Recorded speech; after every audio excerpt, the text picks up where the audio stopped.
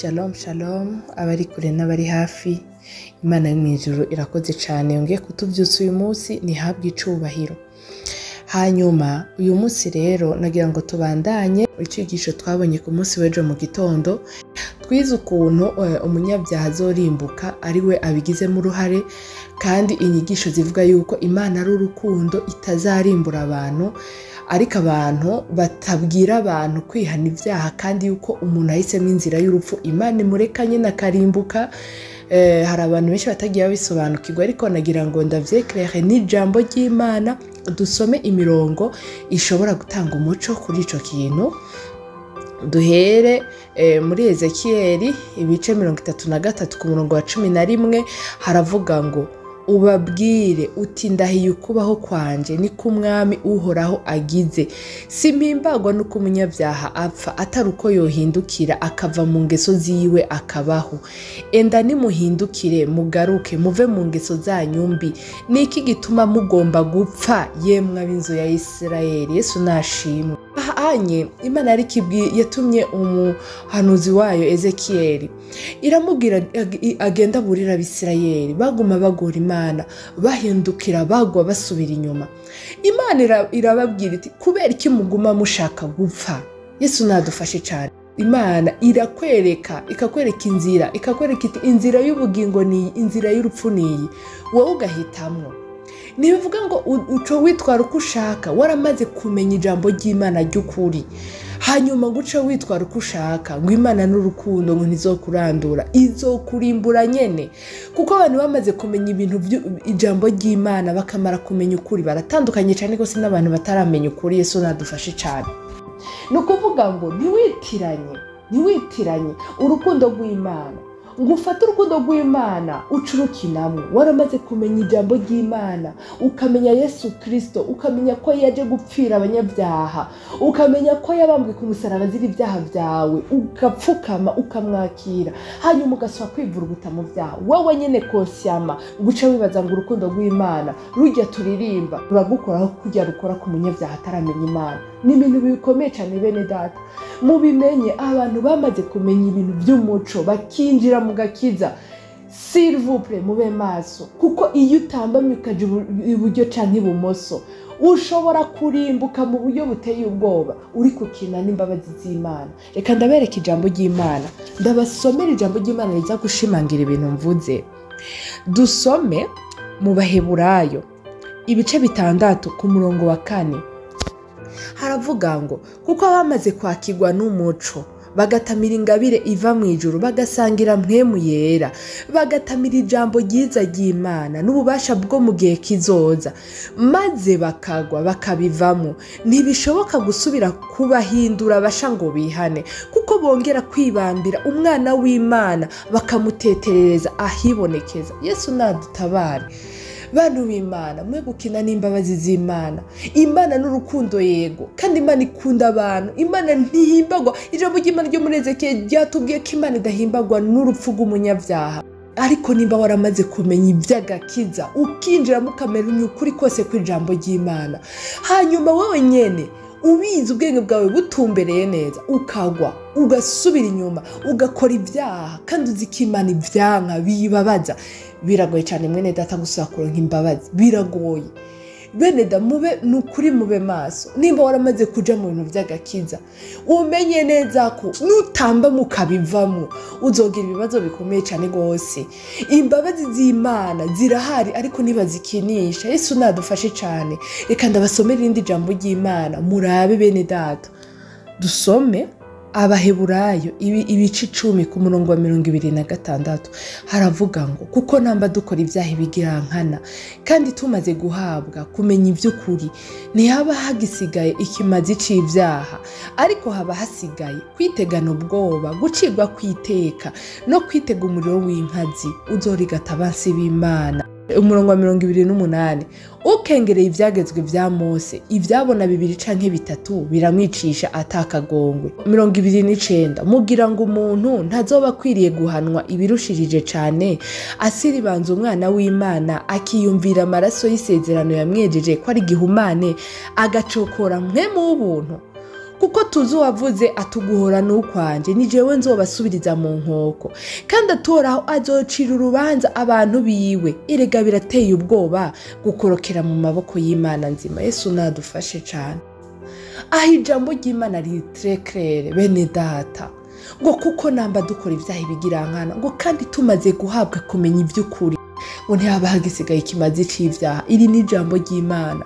Mwongere mwicare musome bibiliya zanyu mu baheburayo ryanditse mu baheburayo ibice icumi ku murongo wa mirongo ibiri na gatandatu. Muhasome hose. Bene data nababwiye umwana mutoya ataramenya ubwenge. Umubyeyi ntashaka kumuhana. Cyo kimwe n'umwana amaze kumenya ubwenge. Iyo umwana azi ubwenge ukabona ariko akora ibintu abibona. Uramuhana kandi cyane bitewe n'ibintu yakoze. Yesu nadufashe cyane. Nimba imana yaratwigishije ikaturera ikadukuza mu buryo bw'umwuka cyangwa mu buryo bw'umubiri hanyuma tukirevorta twebwe nyine konsiyama turi risinde dufite ubwenge bwuzuye tukagwa tukava mu by'inzira y'agakiza tukagenda kandi twaramaze kumenya iby'ukuri rwose. Beneda ni ibintu biteye ubwoba cyane. Uwo muntu kurimbuka biroroshe. Biroroshe. Izo nyigisho zivuga ngo imana n'urukundo imana ntizorimbura abantu. Abantu bagakora ibyo bashaka baramaze kumenya ukuri bene data. Imana irabareka rwose bagapfira mu byaha ndababwiza ukuri. Beneda umuntu imana ikurikirana kugera ku iherezo ni umuntu agira eforo mu buzima bwiwe akagerageza kwirinda ikintu kibabaza imana.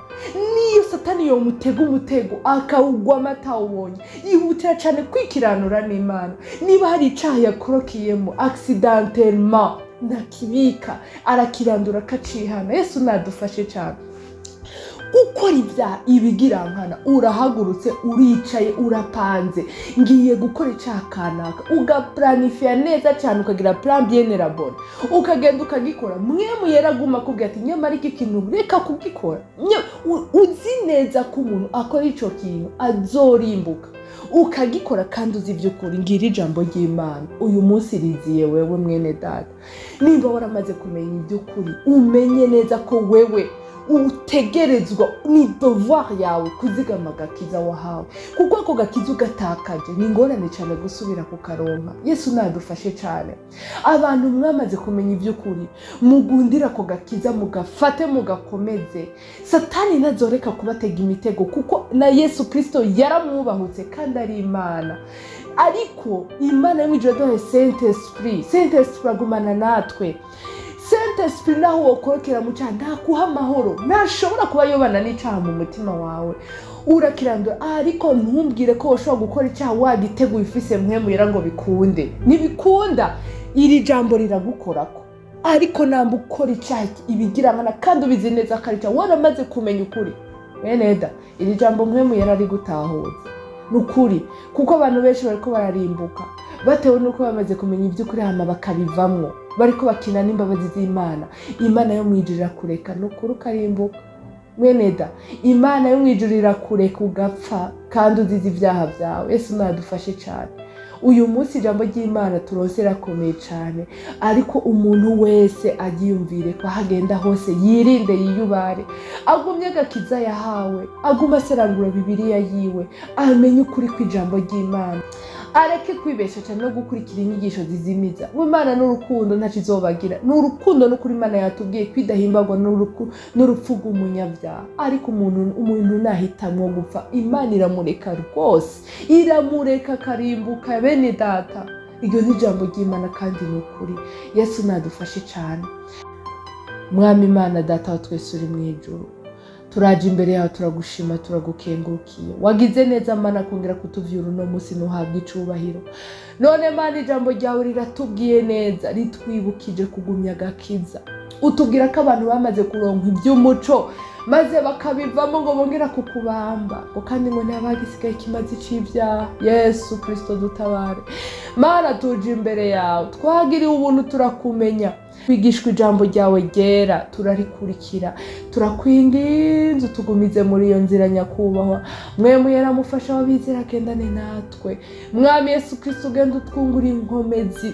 Mwami yesu kirisito ugenda uduteza imbere mu bintu bijyanye n'impwemu maze mwami wacu yesu kirisito kuri wa munsi tuze dusangwe tutagira agasembwa n'amarabaga nyakubahwa. Utugirire neza mana. Utubabarire ibyaha byacu. Amaraso yesu kirisito atweza dutunganye. Hanyuma mana uce ururu kubane natwe. Uyu munsi imana turakwiragije. Nk'uko twama tubigenza. Mwami yesu kirisito turakwirinze ngo wirukane ikibi cyose mu buzima bwacu. Mu izina rya yesu kirisito umwe satani nta kindi akora atari ukudutega imitego buri kanya. Ashaka kutwica ashaka kutubuza amahoro. Mwami yesu turamwirukanye mu bintu byacu no mu bacu. Mu izina rya yesu kirisito uyu munsi turakwiragije. Turakwinginze mwami yesu kirisito ngo ubane natwe kuko utari kumwe natwe. Nta kintu na kimwe twoshobora. Uduhe ikiganza cyiza mwami yesu. Umuntu umwe wese ariko arumviriza kino kiganiro? Bigaragara neza ko afite inzara n'inyota byo kuzindukira imbere yawe. Ndakwinginze ngo ugende mu bintu by'iyo mwami yesu kirisito ubiyobore ubigenge. Mwami yesu ubuzima bwiwe ugende ubuganze. Wowe umufata ukuboko nyakubahwa. Ikintu cyose turi bukore uyu munsi mwami yesu kirisito duhe ikiganza cyiza ukuboko kwacu kwerekeje gukora mwami ugihe umugisha utugirire neza mana. Ikirushirije byose amazina yacu yandikwe mu gitabo cy'ubugingo ukomeza ubana natwe muri byose na hose. Mwami yesu sinibagiye abantu bafise ibibazo bitandukanye. Ehe mana hari abantu bafise ingorane zina ziriya. Genda mu byabo mwami ubagirire neza. Ndakwinginze gusenyura imisozi ihanamye imbere y'abasabyi bawe mwami yesu kirisito ndakwinginze mana yo mu ijuru ugende ukore kuri umwe umwe wese agwaye. Ijambo ryawe rivuga ngo imishishago yawe yesu kirisito ngo nidukiza? Ndakwinginze ngo ukize umuntu wese mwami yesu kirisito agwaye. Ubongere ukwizera mana yo mu ijuru bagirire neza. Urakoze mana yo mu ijuru. Urabizi mana yo mu ijuru ibyo dukeneye ukabiduhera ubuntu n'imbabazi. Kandi iyo dusenga nitwikebagura ko tuba tuzi ko ibyo tugusaba wabyumvise. Ukabiduhera ubuntu n'imbabazi nk'uko wama urakoze data kubyumvise kandi kubikora. Ni mu izina ryawe ryera yesu kirisito umwami wacu ndabisabyemo. Amena yesu nabaho umugisha.